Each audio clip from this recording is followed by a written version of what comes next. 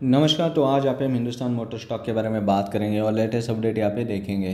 काफ़ी दिनों बाद स्टॉक के अंदर एक पॉजिटिव मोमेंटम होती हुई दिखाई दे रही है, क्योंकि स्टॉक एक पॉजिटिव मोमेंटम के साथ 17 के ऊपर क्लोजिंग देता हुआ नज़र आया है और उसी के साथ आज वॉल्यूम काफ़ी जनरेट हो रहे हैं और एक पॉजिटिव दो तीन चीज़ें उसके ऊपर भी नज़र डालेंगे।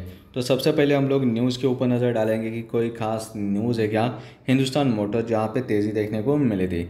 Hindustan motors to sell scrap and obsolete equipment at Uttarpara plant in India तो हिंदुस्तान मोटर जो है, अपना जो स्क्रैप है, वो है वो यहाँ पे बेचने का सोच रहा है तकरीबन इंडिया के अंदर जितना स्क्रैप है वो। उसके ऊपर यहाँ पे आप देख सकते आज न्यूज़ आई है और जिसके कारण आज देख सकते कि स्टॉक में अच्छी मोमेंटम आ चुके हैं।